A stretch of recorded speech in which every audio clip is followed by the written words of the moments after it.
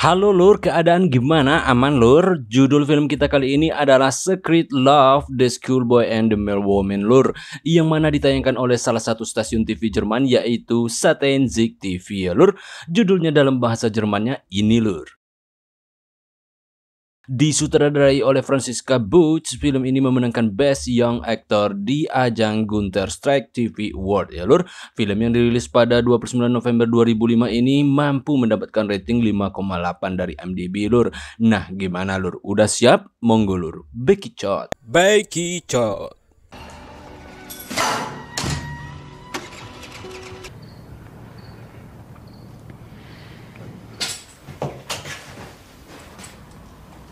Seorang bocil yang masih SMA siang itu jalan-jalan di tepi pantai. Dia adalah Joy diperankan oleh Kostya Ulman. Saat melamun di atas tebing pantai itu secara enggak sengaja lur. Dia melihat seorang cewek dari kejauhan. Dia memperhatikannya.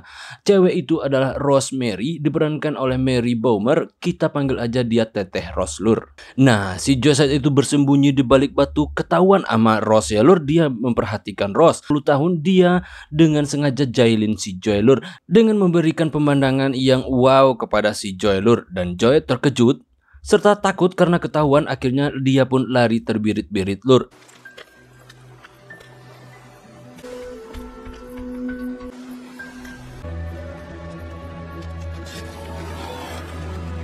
Nah, Ross sempat memanggilnya kembali Lur, namun keburu takut dia pun ngegas motor beatnya itu Lur.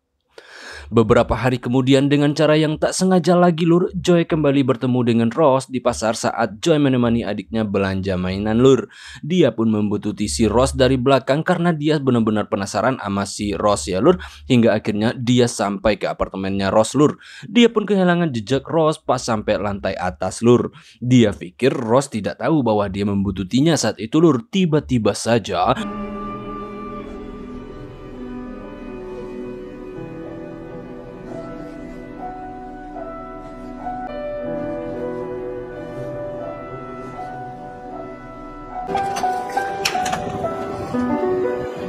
Ross mengejutkannya dengan membuka pintu rumahnya dan Joy pun terkejut minta ampun lur. Tentu saja kita maklum ya lur, kan si Joy ini masih bocil banget lur, dia masih SMA kan lur. Nah melihat Joy seperti itulah Ross pun memintanya masuk aja ke rumahnya lur, nggak usah malu-malu katanya. Akhirnya Joy pun masuk ke rumahnya dan sesampai di rumah Joy semakin gemetar lur. Lihat si Ross ini pakai baju bobo ya lur. Tentulah Joy jadi gimana gitu lur. Dia nggak pernah dalam posisi kayak begini lur. Ditambah lagi Ross itu kan udah mateng banget lur sementara si Joy ini ibarat ya buah masih muda banget lur, masih banyak getahnya ya lur.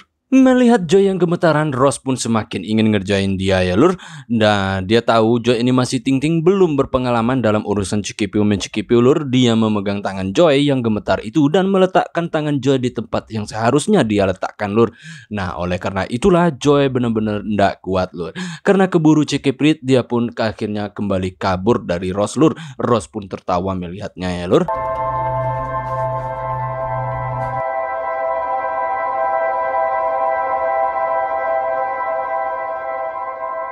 Semenjak itulah Lur Joy mulai hilang fokus dalam menjalani kehidupannya sehari-hari Lur di dan ulangannya pun mendapat kritikan dari guru-gurunya lur hingga akhirnya nilainya jeblok lur. Dan dia pun takut menunjukkan nilai itu ke ortunya ya lur setelah mendapat kabar dari sekolah nyokapnya tahu nilai Joy jeblok dan dia dimarahi sama nyokapnya lur. Dan ini adalah tunangannya Ross lur namanya Peter diperankan oleh Wotan Wilke Moring.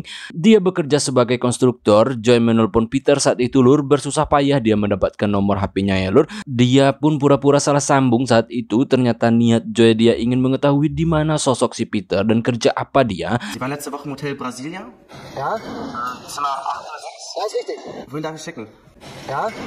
Zimmer 806. Ja, ist richtig. Wohin darf ich schicken? Dia pun tahu bahwa Peter bekerja di luar kota sebagai konstruktor. Tujuan Joy tentu dengan mengetahui sosok si Peter ini, dia lebih bisa mengeksplor si Ross ya lur. Sementara si Ross itu bekerja di JNT lur, dia ngantar paket COD dari Shopee, Tokopedia maupun Bukalapak ya lur. Dia sini nampak jelas kalau kondisi si Ross ini berbanding terbalik dengan kondisi Joy ya lur. Keluarga Joy ini keluarga yang berada lur. Bahkan mereka pakai pembantu lur. Pembantu itu di Eropa sebenarnya jarang ya lur. Supaya kamu tahu lur. Bukan seperti di kita di Indonesia ini lur. Pembantu di Eropa itu sangat mahal. Gajinya sangat tinggi. Jadi hanya keluarga tertentu yang bisa make jasa pembantu ya lur. Keluarga Joy ini mampu bayar pembantu lur. Sementara itu ibu Joy adalah seorang ibu rumah tangga biasa ya lur. Namun dia itu sosialita yang sibuk dengan teman-teman arisannya lur. Jadi kurang perhatian sama keluarganya lur. Dan semua urusan terserah masing-masing di keluarga ini ya lur kan ada pembantu pikirnya lur. Gitulah pemikiran nyokapnya ya lur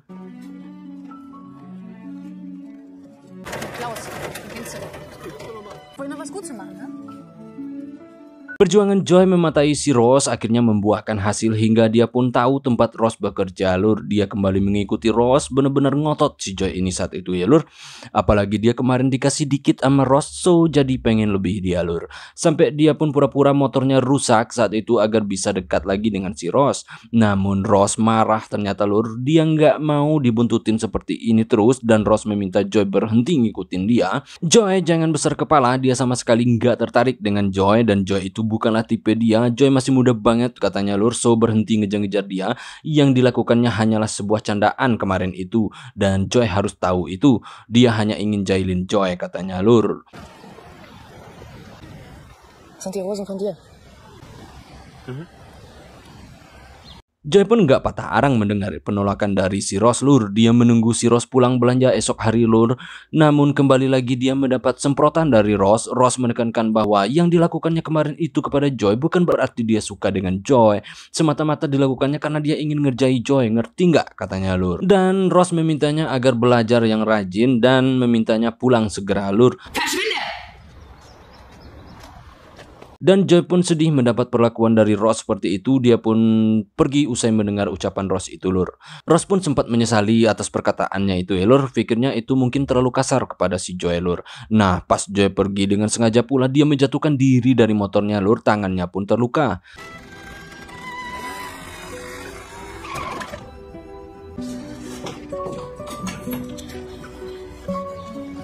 Tentu itu disengaja sama si Joy lur. Nah melihat itulah dengan muka yang masih kesal Ross membawa Joy masuk ke rumahnya lur. Ross mengobati lukanya dan di dalam rumah Joy nampak ceria banget lur. Nggak peduli dengan lukanya lagi. Dan dia pun tuduh poin ke Ross lur. Dia mengatakan bahwa dia udah siap sekarang dan dia ingin kayak kemarin lagi. Nah Ross sadar lur. Joy masih bau kencur dan nggak akan mampu mendandinginya. Akhirnya Ross pun mengiyakan pinta si Joy. Belum juga apa-apa lur si Joy udah kembali cekiprit duluan lur. Nah Ross dengan muka datar memintanya untuk berhenti, nggak usah ke sini lagi. Dia meminta Joy untuk belajar yang rajin dan dapat nilai tinggi kalau udah lulus balik ke sini lagi katanya lur. Namun tentu Joy nggak peduli dengan itu semua lur. Dia kembali memperlihatkan kengototannya. Dia pun bolos. Pagi itu dia kembali lagi ke rumah Ross. Dan kali ini Ross menerimanya lur. Joy benar-benar merasa siap pagi itu ya lur. Saat sedang asik ngobrol dengan Ross tiba-tiba si Joy mulai duluan lur. Dan Ross mulai menyadari bahwa Joy udah bisa cikipiu saat ini. Namun Ross nggak mau berlanjut ke arah yang lebih parah. Dia meminta Joy untuk kembali ke rumah saja. Nanti dimarahi nyokapnya katanya lur. Karena udah mendapatkan apa yang dia mau akhirnya Joy pun patuh ya lur. Dia pun balik siang itu lur. Nah hari-hari Joy benar-benar sudah parah banget lur semenjak kenal dengan Ross. Nilainya pun semakin anjlok. Dia sering menghabiskan hari-harinya di rumah Ross tanpa sepengetahuan ortunya. Dan Ross tak pernah mau cikipiu sama si Joy ya lur. Ross selalu menetralkan suasana agar Joy nggak usah berpikir ke arah sana terus. Belum waktunya kata Ross. Untung Ross bisa mengatur si Joy ini lur. Dan keseharian Joy di rumah benar-benar membosankan lur. Joy menghabiskan waktu dengan bermain bersama adiknya yang masih kecil itu. Karena ortunya terlalu sibuk apalagi si nyokap yang selalu pulang pagi dalam keadaan oleng lur.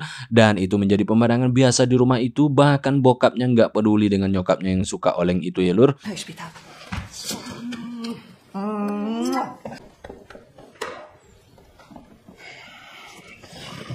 Nah suatu hari di saat hujan yang lebat banget lur si Joy yang udah seminggu nggak ketemu Ros memaksa diri datang ke rumah Ros dalam keadaan hujan lebat itu lur. Dia pun akhirnya basah-basahan. Nah kasihan lihat si Joy Ros pun mengelap Joy seperti ngurus anaknya sendiri ya lur.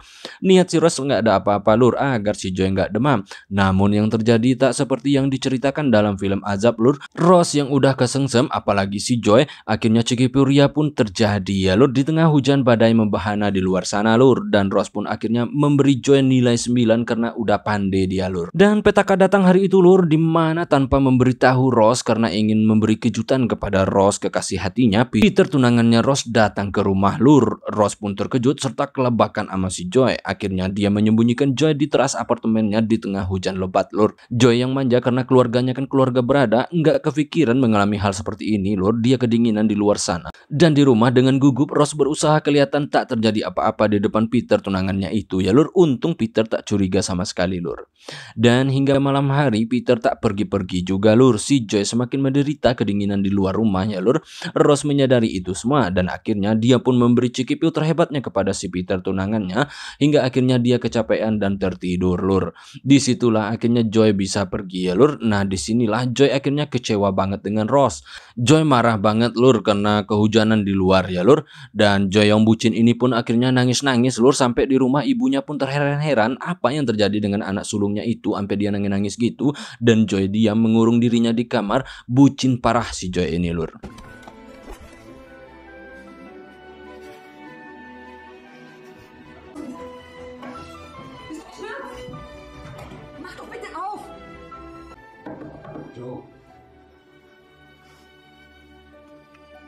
Dan inilah ayahnya Joy lur, pengusaha cabe yang kaya raya lur. Joy nggak mau lagi menemui Ross. Sudah sebulan ya lur, dan Joy menghabiskan hari-hari dengan keluarganya saja.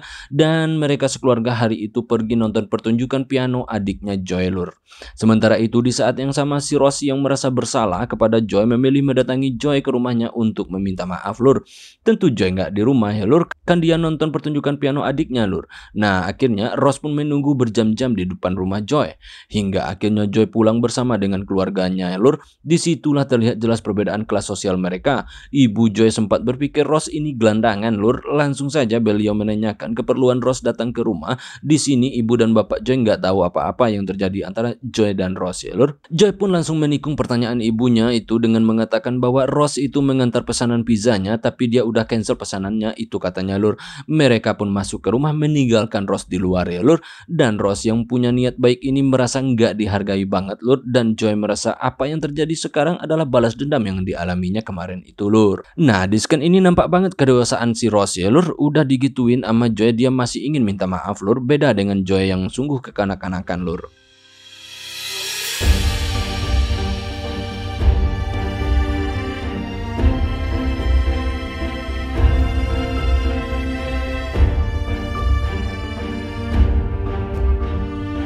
Besoknya si Ross kembali mengejar Joy sampai ke sekolahnya dengan menggunakan seragam kerjanya lur.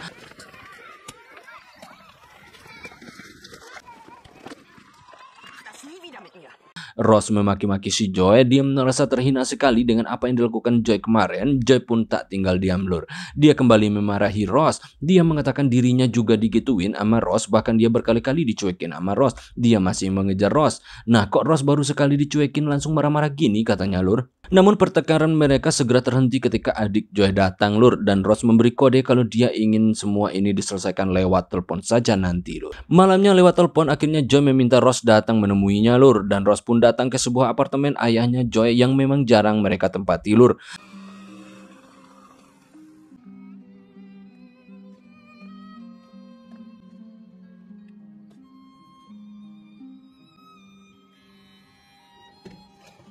Sampai di dalam Joy langsung ingin segera geludin Ross namun Ross nolak lur dan Ross meminta maaf atas apa yang dilakukannya kemarin dan dia ingin menghentikan hubungan mereka. Ross pun segera pergi lur. Namun Joy mengejarnya dan memintanya kembali ke rumah. Dia sangat memohon ke Ross. Ross pun yang merasa nggak enak dengan Joy yang terlalu memohon akhirnya kembali masuk ke rumah lur. Gibt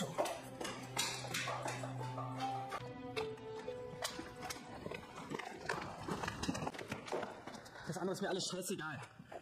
Joy berusaha ingin baikan dengan Ross, namun Ross terlihat masih nggak terima. Dia ingin semua ini usai sudah.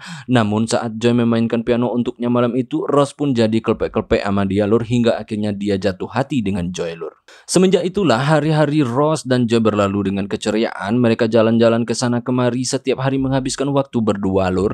Dan tak lupa semua momen mereka abadikan lewat kamera HP-nya Joy. Karena si Ross nggak punya HP lur. Dan setiap hari mereka selalu menghabiskan pertemuan mereka dengan gelut-gelut dan bergelut lur. Hingga pada suatu hari ibu Joy mengetahui semua yang terjadi. Ketika beliau membersihkan kamar Joy yang berantakan tanpa sengaja melihat foto-foto di HP Joy. Dan fotonya itu aneh-aneh pula lur. Lebih mengejutkan lagi dia adalah orang yang dibilang Joy tukang pizza kemarin.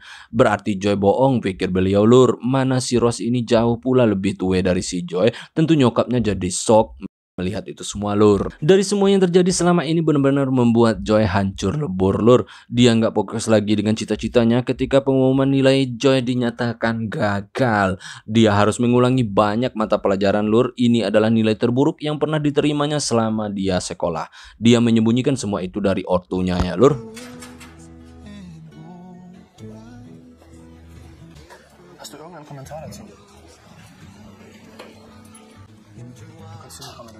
Brauchst, jederzeit.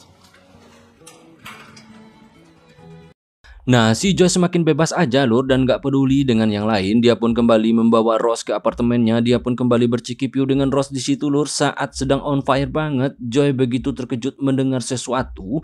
Ada orang lain di apartemen itu lur. Siapa dia? Dia pikir maling lur saat dicek. Eh, Betapa terkejutnya Joy melihat ternyata si nyokap lur tengah cekipiu amat anak buah bokapnya lur. Joy pun benar-benar sok melihat itu ya lur. Dia marah, dia kesal dan dia muak dan dia benar-benar merasa jijik melihat semua ini lur. Pantasan nyokap sering pulang pagi sambil oleng pikirnya lur. Dan Joy segera mengajak Ross pergi dari situ lur. Dan Ross juga nahas nasibnya malam itu lur saat pulang ke rumah ternyata Peter tunangannya sudah ada di rumah menunggunya lur. Peter sengaja pulang diam-diam karena ingin ngasih surprise lagi.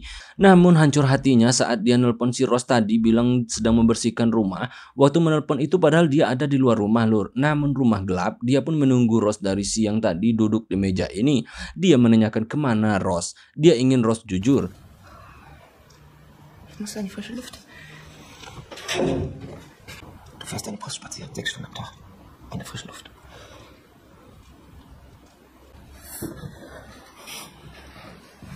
Dan Rose nggak tega lagi bohongin si Peter ya lur. Dia sudah merasa berdosa banget keseringan bohongin dia lur. Dia mengakui semua ketunangannya itu lur. Dan Peter pun marah. Dia meninju lemari hingga barang-barang berjatuhan dan menimpa kening si Rose. Dia pun terluka lur. Nah melihat itu Peter pun iba. Dia segera meminta maaf. Sehingga dia lupa kalau Rose juga punya salah besar kepadanya ya lur. Mereka berdua akhirnya baikan lur. Dan di waktu yang sama pula Joy mengadu ke bokapnya tentang apa yang dilihatnya di apartemen. Kalau nyokap suka ke situ sama Om Bono katanya lur akhirnya bokap Joy meminta pisah dan keluarga ini di ujung tanduk lur. Esok hari nyokap Joy menemui Ross terlihat muka Ross babak belur ditimpa lemari semalam ya lur. Ross sepakat dengan ibu Joy saat itu untuk menjauhi Joy ya lur. Dan apalagi Ross segera menikah dengan Peter lur. Ross pun akhirnya menemui Joy untuk terakhir kalinya. Kedatangannya membuat Joy patah hati di mana dia memberikan undangan merah jingga lur kepada si Joy. Janur kuning segera melengkung antara Ross dan Peter ya lur. Oleh karena itulah Joy pun menenangkan dirinya dengan minum jahe hangat lur hingga akhirnya dia oleng berat. Nah berhari-hari Joy nggak pulang dan bokap pun akhirnya menemukan si Joy ya lur sementara dia sedang ujian kelulusan saat itu lur. Nah si nyokap pun menyarankan agar bokap segera menemui Ross yang segera menikah meminta bantuannya untuk membujuk si Joy. Ross pun mau menunda pernikahannya demi Joy saat itu lur. Akhirnya Joy pun mau ikut ujian kelulusan dengan satu syarat bokap dan nyokap nggak boleh pisah ya lur. Dan semua itu adalah hasil bujukan dari Ross lur. Dan Ross pun memberi petua-petua hebat supaya Joy mau ikut ujian dan lulus untuk melanjutkan ke perguruan tinggi. Dan pada akhirnya Akhirnya si Joy pun ikut ujian dan dia pun lulus dengan nilai yang memuaskan. Bokap nyokap Joy tak jadi pisah lur karena itu permintaan Joy. Serta Ross pun akhirnya menikah dengan Peter lur. Film ini pun akhirnya tamat. Genre film ini drama dan romance lur sepertinya si Francisca Butch selaku sutradara lupa ngasih tambahan kalau genre film ini ada komedinya lur dan karena ceritanya tak murni roman dan drama ya lur banyak bumbu komedi di sini lur boleh lu tonton kalau nggak percaya lur dan seperti FTV lainnya tentu berbudget rendah terlihat sekali banyak background yang dibuat-buat lur dan itu sangat kasar banget menurut gue yang paling menonjol adalah gereja pernikahan Rose itu seperti rumahnya si Joy Lur yang diubah jadi gereja. Dan itu adalah salah satu efek dari film berbudget rendah ya Lur. Kostya Ullman yang memerankan Joy banyak sekali memerankan karakter kayak gini lur. Contoh terdekat adalah film Vervolt yang pernah gue ulas lur. Juga di serial Tatort apa wajahnya yang cocok memerankan karakter kayak gini atau emang dianya yang suka karakter ini nggak tahu juga gue lur. Untuk alurnya emang tergesa-gesa banget menurut gue lur dan ceritanya benar-benar mengada-ada. Masa iya Peter masih mau menerima Ross yang udah ngakuin kesalahan fatalnya itu? Kan itu muluk-muluk banget lur. Begitu, begitu juga dengan bokap Joe yang maafin nyokapnya ya lur. Hampir mustahil lah menurut gue lur. Pesan film ini kalau belum cukup umur ya nggak usahlah main asmara-asmaraan ya lur. Apalagi ama yang udah tua lur. Berjalanlah di jalur yang seharusnya. Kalau keluar jalur itu ya pastinya Pak akan melenceng ya lur. Oke lur, saatnya gue ciao lur.